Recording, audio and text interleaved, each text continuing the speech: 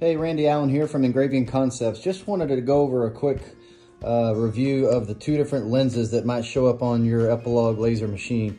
This is the original lens assembly that came with the, gosh, original Edge, um, and even worked its way into the new Pro, and it's the same thing on the Maker. So this is the full lens assembly. You can see the lens in there, and I'll take this cap off.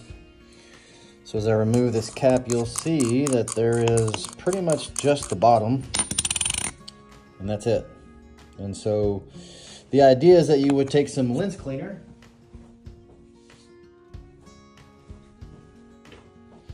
Epilog lens cleaner, and you would take some Q-tips, put some lens cleaner on the Q-tip, and wipe the bottom of the lens and the top of the lens clean and dry. So you get that super shiny clean and dry and that's the way you clean the lens on the noose or the uh, lens assembly. However, this is the old style that does not have the insert in here. So let me pull that off and show you what that looks like. This is of course the Air Assist tube but I'll pull the other one off and so you can see. So here we're gonna pull off this new style lens assembly and show you what that looks like. So just the way we do all the standard makers, edges, open up the window, and then we'll pull the air assist tube down, and then we'll use the manual focus gauge right here, and put that in the ring lens assembly. And there's a threaded part that works out. So this threaded part here is what gets tightened. And but what we want to show is the bottom. So this is the newer style with an insert. Right here. So normally, in most circumstances, you could take a Q-tip with a lens cleaner and put it inside there and get that as clean as needed.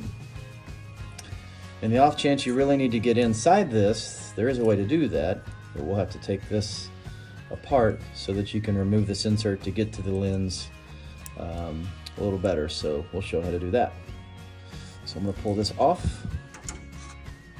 So with that air assist tube off, you can actually take this and loosen this piece right here take that out. Just set that up there for now. This will allow this to slide off. All right.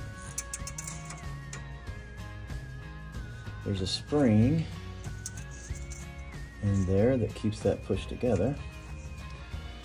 And then there is this part.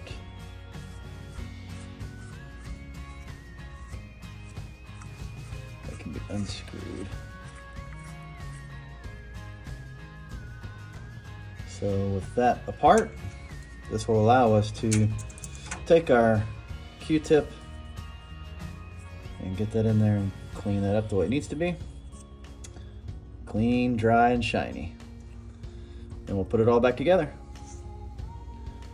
But what that insert really helps is to keep and protect the lens from all of the blowback of the uh, fire, flames, residue, dust, smoke, sticky stuff getting back on the lens. So this is a really nice uh, revision to that previous generation assembly that looks the same.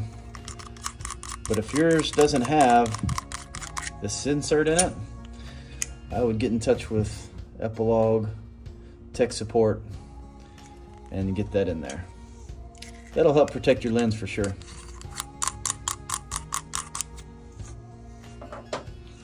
So getting back to this, we'll just take our insert, push that back in.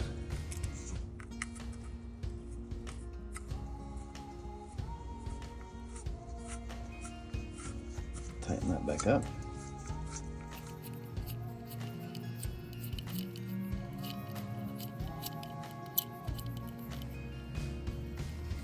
Okay, After further evaluation, when putting this insert back in, up you can go too far if you thread it too far into the barrel. So be sure that you're only threading that to where these two rims here meet and smooth all the way around. That's gonna be as far as you wanna go. If you go too far like I did, you can use some tape to kind of grab it, twist and turn it because it's hard to kind of grip that. So that's as far as you wanna go. And now we'll take our uh, spring and our housing and put this back together. Okay, so we're gonna take our spring and we're just gonna drop that into the assembly. So it's gonna go facing like this. Drop the spring in like so. And then we'll take our assembly here. We wanna line this hole here up to that hole there. Pushing that down. That will then allow us to use our brass fitting, insert that back into place. It is threaded there. Now to get this out, your brass fitting might be a bit tight. I used pliers, but it's probably best to use Derek's suggestion to use that Allen wrench to get that out. Be less damaging to that brass fitting. So once this is back in, we'll be back in business.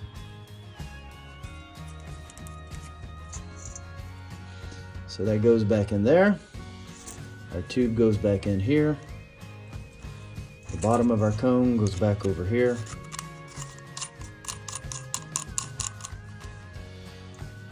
That'll go back into place. Close. Done we're done. Well, let me do it right. So close that. This is your manual focus gauge. That's what we use to get this tension here tightens.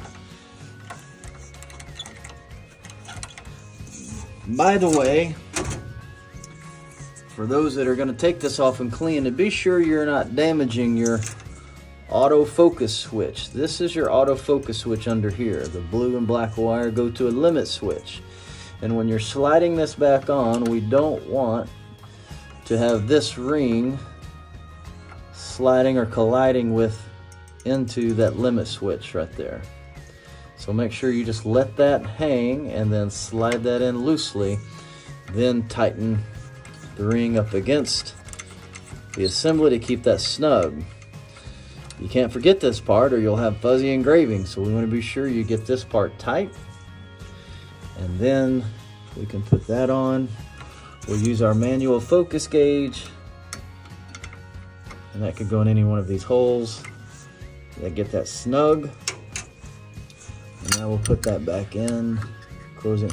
Now would be a good time to pull out the mirror, check the mirror, slide that back in, clean it if need be, tighten that back down, don't forget that. And that can go back in there. So that's how you want to be sure you get the window tight, get that snug, don't damage your switch. And that's how you clean and use the newer style lens assembly with the Epilogs. Hope that helps.